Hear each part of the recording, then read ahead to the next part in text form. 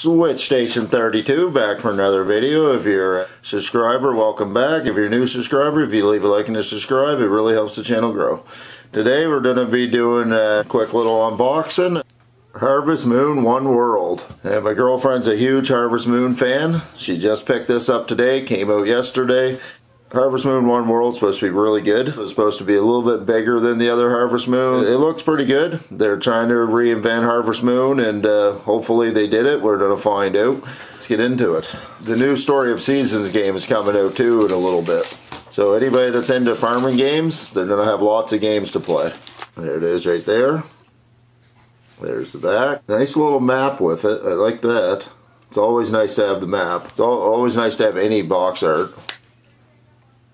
There it is. Your cartridge.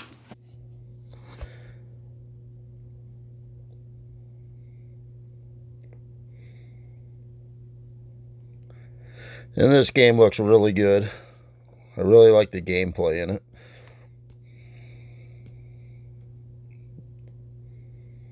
Get nine different characters.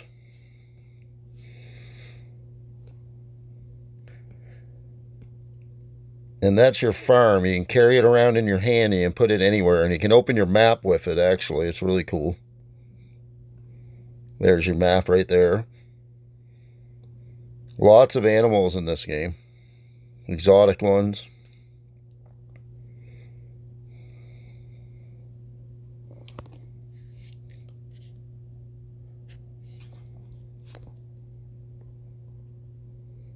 The girlfriend's loving this game, actually. She highly recommends it.